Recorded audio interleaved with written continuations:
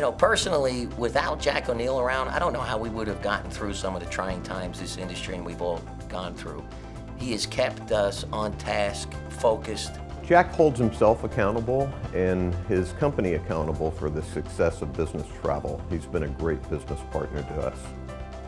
Jack is truly a leader and cares about his employees um, to the highest level to ensure that everyone is successful. Jack brings his best personal qualities to his leadership style. And I think I would describe those as, you know, a commitment to customers, um, a commitment to his people. Well, Jack is, is a wonderful man. He's, you know, he's a friend. Uh, for me, he's a, uh, he's a role model in many ways. He's uh, incredibly customer focused. Jack has made our company stronger. He's the best at client facing, the best, and a great leader for people. People love to follow Jack.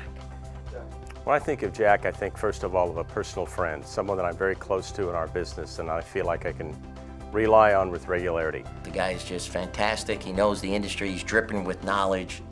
And God knows he's got some great jokes.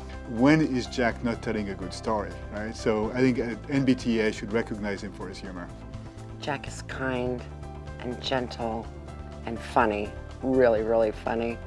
I think of someone that's deeply committed to his family and his friends. I also think of the best joke teller that I've ever known. He knows literally thousands of jokes, hundreds of which are just about parrots, and he does the voices too. Yeah, I don't know if Jack's a bad golfer or a bad card player, but I do know that he knows that the customer always wins. Jack is approachable, Jack is industrious, he's caring. This is my favorite picture of Jack and I, and, and you'll notice in the picture, Jack's pointing at me. And I think that's indicative of, of what, what Jack is like. You are the best. We need more guys like you out there. I wish you well. This is so well deserved. We're so proud of you, Jack. Well done. I am so thrilled for you. Congratulations, Jack. You've really earned this. I can't think of anybody um, uh, in our industry, in this room, more deserving of this recognition than yourself.